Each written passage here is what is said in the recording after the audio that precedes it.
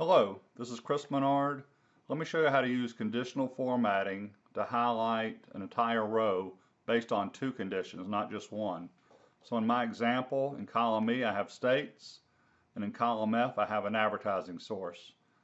And I'm going to say if someone's in California and they figured out and they used the advertising source Google Ads, I want to make that entire row a background color or a fill color yellow, green, I don't care what color, let's just do it.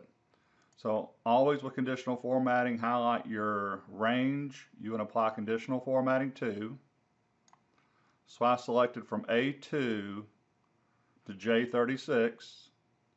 I'm on the Home tab up in the top left corner. Go to Conditional Formatting, New Rule, use a formula, let me move this box just a little bit out of the way so you can see this. So I'm saying if California is in column E and Google Ads is in column F, put it in a background color. So let's use the AND function in Excel. And the first thing we're going to evaluate is column E. I'm going to do a dollar sign E2 equals California, which is CA. And the reason the dollar sign is there is I'm only looking in column E. And I started highlighting row 2, so it'll go to E2, E3, E4, comma. The second thing we're going to evaluate is column F. So it's the same steps.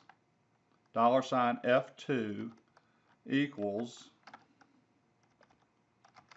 Google Ads hit the word format, go to the fill tab, and I'm going to do green.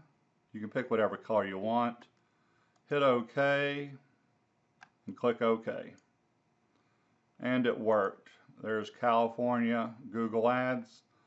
Let's test it. I'm going to make that CA and I'm going to change it to radio and I hope the conditional formatting turns off and it does. Put Google Ads in and it comes back. So that's how you do conditional formatting using an AND function. Feel free to call me if you need Microsoft Excel training. Thank you.